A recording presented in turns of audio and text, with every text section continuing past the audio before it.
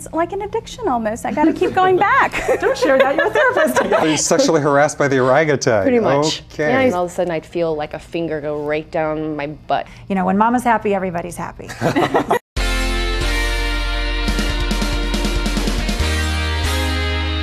With TV ratings dropping, are beauty pageants an outdated relic of a sexist past, or are they empowering a new generation of women? Today, psychiatrist Dr. Vidushi Babber and sexy mama expert Allana Pratt are here. They both competed in pageants. And later in the show, actress Kelli McCarty, a former Miss USA, will join us to give her take on things. She starred on the soap Passions for seven and a half years. Great to have you both here today. Great to have. Pleasure, Dr. Yeah. Babber. Mm-hmm. All right. So, with uh, one female vice presidential candidate and almost two, are pageants an outdated form of sexism against women? They're not outdated, they actually still go on, but I think what we really need to recognize is that the old style is really about female competition, and that's the last thing we want with women and sisters in society Exactly. today is having more competition. We want more collaboration, more cooperation, more sisterhood. So I think we really need to be careful with pageants. Speaking of competition, I've heard some stories. One of our makeup artists used to work on a pageant, and she told me about uh, the women who would uh, steal the, the competitors' clothes. During, like the women, she said, always had to bring more clothes because they would steal each other's outfits. So, like, you're going to go be in the evening gown competition and you have no evening gown. And I guess the way it works, I don't know, I've never been in one, but but if you don't have the dress, then I guess you can't. Then you're out. You know, yeah. Or you'll put it on and the zipper will be broken, and it doesn't just happen.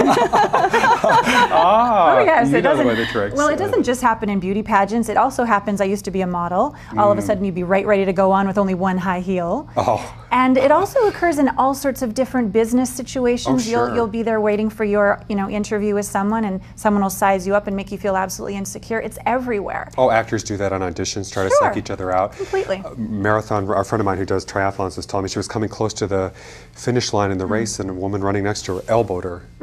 And uh, so that, that's their way of elbowing you in the fitness or in the, uh, the, the modeling competitions as they uh, Yeah. take the dress. Or she also said too there was a you know you'd have. Um, the the woman who you know on camera she was so nice and polite and then she'd get off camera and she'd be a real pardon my saying she'd be a real bitch. Could I say that? Fine with me. but that's what she said. You know that that's. Uh, so do you see that a lot? I mean, were there dual personalities a lot? You know, they were smiling on camera, and then as soon as they got off camera, actually, kind of sounds like me today around here. You know. You're being so nice to us now, Greg. yeah, I know. I was yelling and screaming earlier. You know, I just have There to is join my that team. negative side to the competition, of course, but then there is also a positive side, which I've seen quite a bit, and majority of my pageant experiences have been good. Hmm. I've seen the support system backstage where we're helping each other up with their zippers, we're actually helping with the makeup. So I've seen a lot of that as well, in majority of the times, and I think the cases that we do tend to focus in on in the media or we hear about tend to be the negative, the negative, unfortunately. Of course, yeah, Yeah. I guess the more sensationalistic. Um, but now you've both competed in some pageants or involved in these. Um, what have you done? Well, I, you, she still does them. Can you believe it? Hot woman here. I am from a little town in Canada, and I was in a pageant which really did focus more about your talents and your community service and cooperation. It was a very positive experience for me.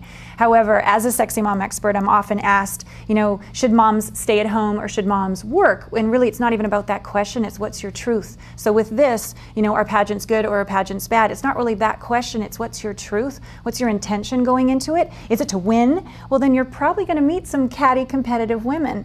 Are you uh, insecure about your body? Well, then you'll probably feel exploited and insecure when the girl's got bigger boobs than you do. But if you go into it with a healthy sense of self-esteem, you want to express yourself. Just when I coached Lisa through Dancing with the Stars, Yes. I was there when she got the phone call, and she was really nervous. Well, for all good reasons, she was going to turn 50.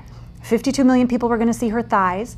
But I sat her down and I said, you have to make an intention to do this for you, for the experience. You want those millions of women to see you do it just for the experience of it and inspire all women to show up and go for it in life for the experience, not just to win, not just to be better, and create that sisterhood, not that competition. And you think she pulled it off? I think she did. She had a great experience and she faced all those places where she wanted, she, well, we all want to win. And she's such a brilliant woman and what she does is so successful, but could she show her kids that mommy's doing something for the experience of it and that to succeed doesn't mean I necessarily won or success is actually something deeper. And that's the problem that's going on in society today is that all the validation is coming from the outside in, not the inside out. Now, what about you? You are, as she said, you are still doing pageants. Mm-hmm. I still compete. And um, just to add to what Allana said, for women, it's become sort of a process of self discovery through these pageants. I've seen lots of women come in after a broken marriage or being a single mom and just needing some way to pamper themselves. And, and pageantry tends to be that avenue for that self empowerment, for boosting that self esteem, to get ready, to feel good, and to look great on stage. Now, since you mentioned that, um, actually, I'm curious what you think. Every once in a while, you'll hear, I think it happened with Miss USA not that long ago, one of them, that um, there are requirements, I think, well, first of all, what you have to be single or couldn't be married, and what about things like that, or I don't know if you can have children or, you know, and all that. Are Oh, I'm out. I'm divorced. I've got a child. Never fear, because there's a pageant out there for you now. And what's happened The is the div- pageant, yeah. the, the pageant industry has changed quite a bit over the years. It used to be a very exclusive society almost in a way because you had to be a certain age you had to be a certain look a certain height a certain weight.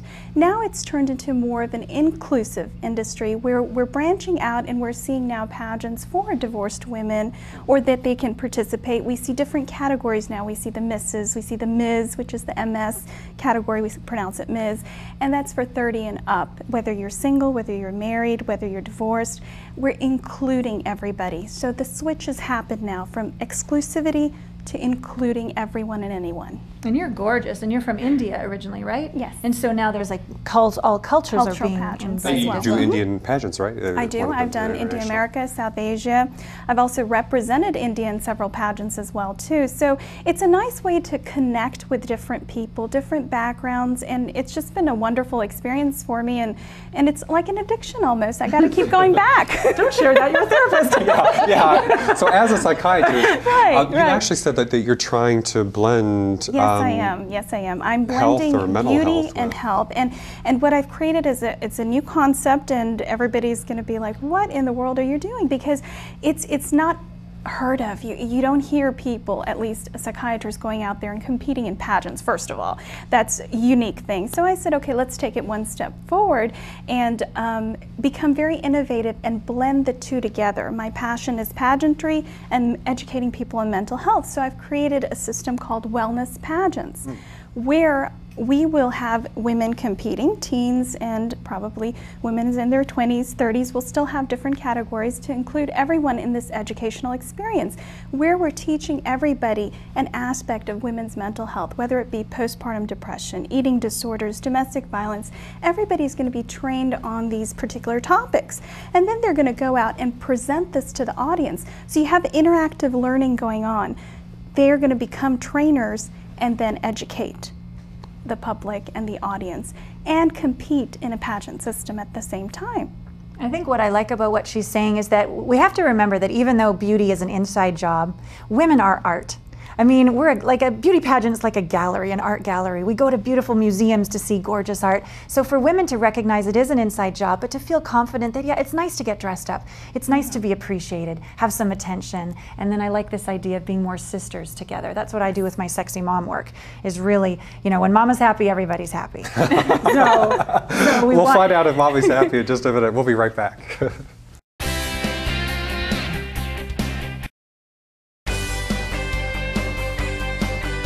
And we are back with Dr. Babber and Allana Pratt today talking about beauty pageants.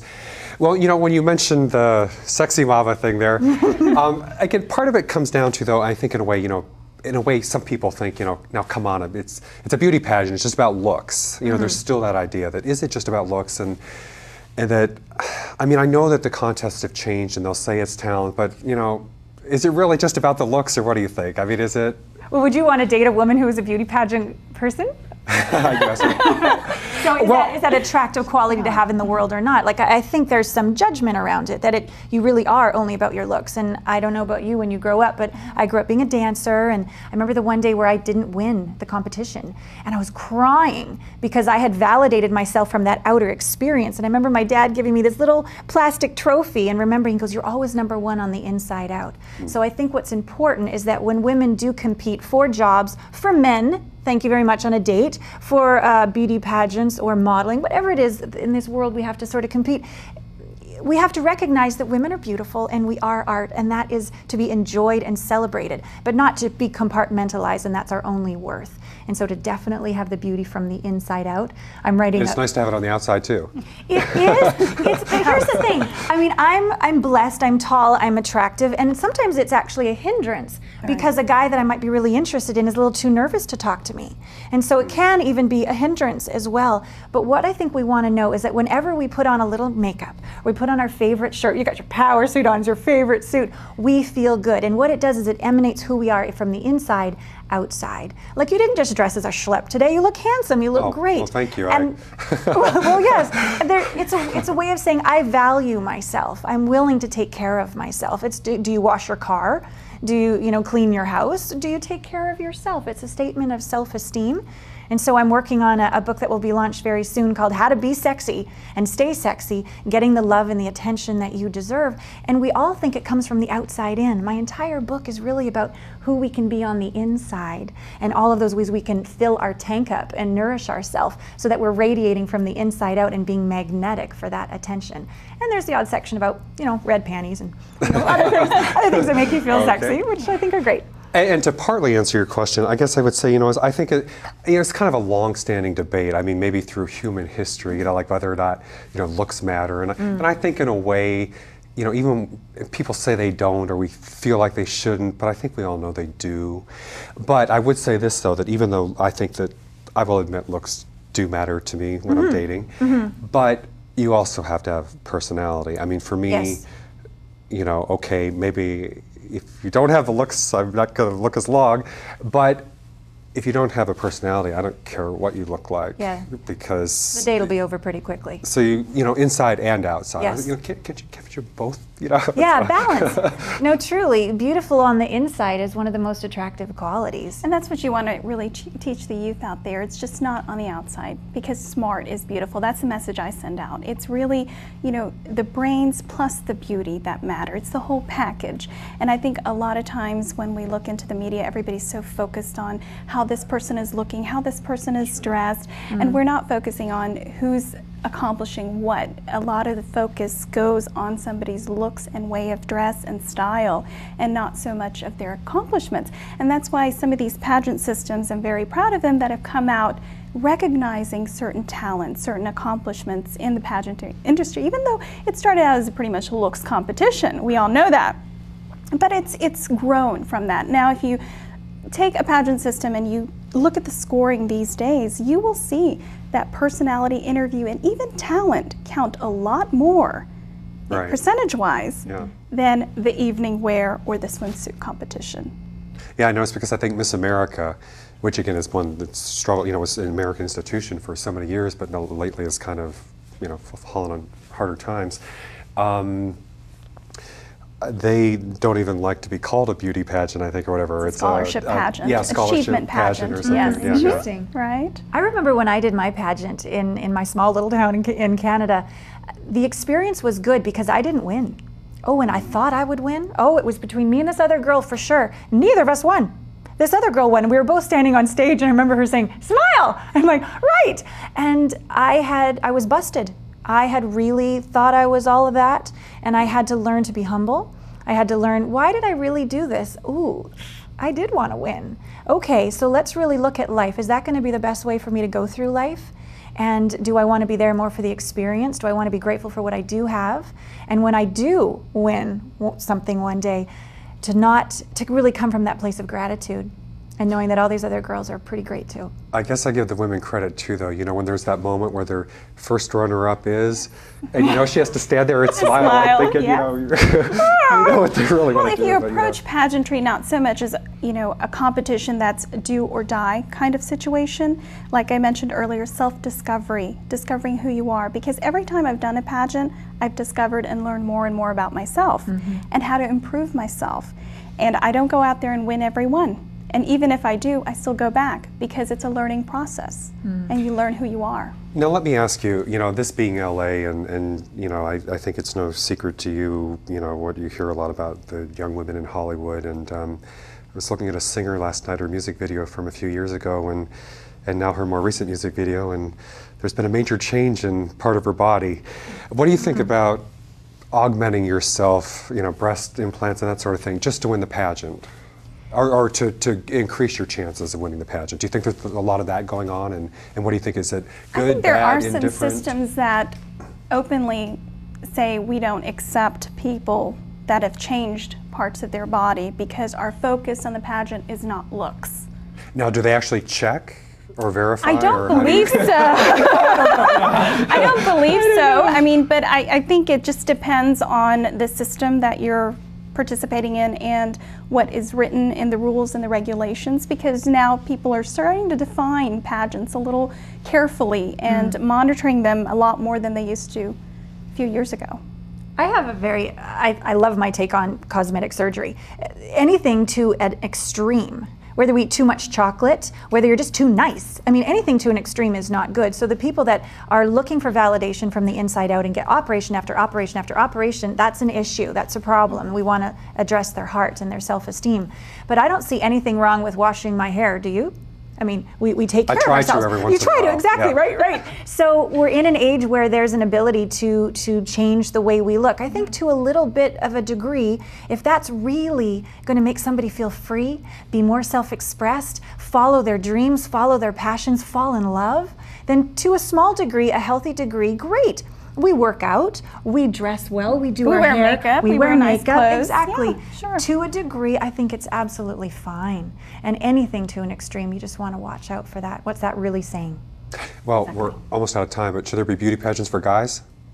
There are. I, I, I know there are the fitness are. competitions and stuff There like that. There are fitness the- the competitions. bodybuilding and They, like we that, actually, um, I know um, the India America system does have an Mr. India America, Oh. Mr. South Asia.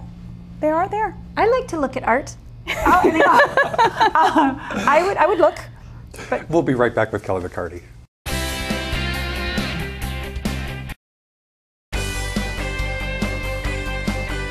And we are back. Joining me now is actress Kelli McCarty. She's a former Miss USA from 1991, and she's been on, was on Passions for seven and a half years. The soap. Great to have you here today, Kelli. Thanks for having And having you brought us. along Marge here. This is Marge, my rescue, one of four rescue dogs. One of four rescue dogs. That's what I do. I'm These days, well, you know, we, we were just talking about pageants, Mm-hmm. and, and the women were actually supporting the idea, which some people might find surprising because you know they've been criticized for being, Sure. you know, by some feminists saying you know that they're sexist or exploitive, and Mm-hmm. but you were Miss USA 1991. What kind of experience was that like for you?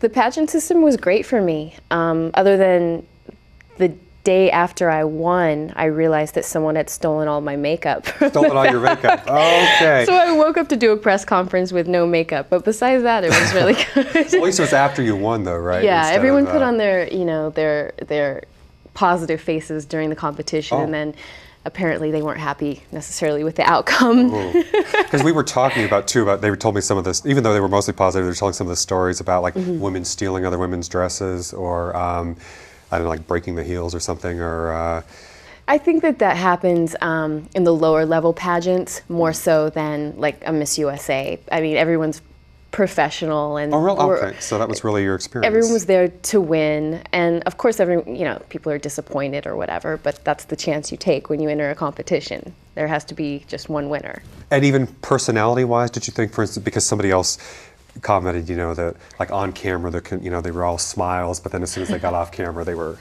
You know, I think that that's what everyone wants to believe that there's just cat fights going on, and the reality is the girls that are entering these competitions um, have very, very similar interest and similar goals. So I, I ended up getting along great with with these girls, actually more so than probably other women that I grew up with. Oh, and I should say, so you were from Kansas. You were actually, the, I checked the, the, the computer, and you were the only, I think, the winner from Miss USA Yep. from Kansas to Yeah, this day. so far. And um, California and New York have had most of the winners. And you went on Actually, Texas.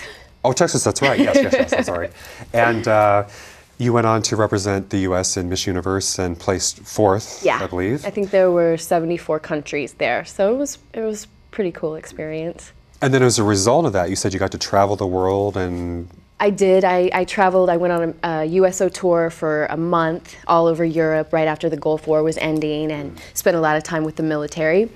And uh, I went to China. I went all over, and that was definitely the best part of winning the crown is just the traveling and and people say it it's cliche but it's not it's like just spending time with with people in in different parts of the world it's pretty cool But you said too, though, one of the main reasons you went into this was that you wanted to get into acting. Yeah. Is that?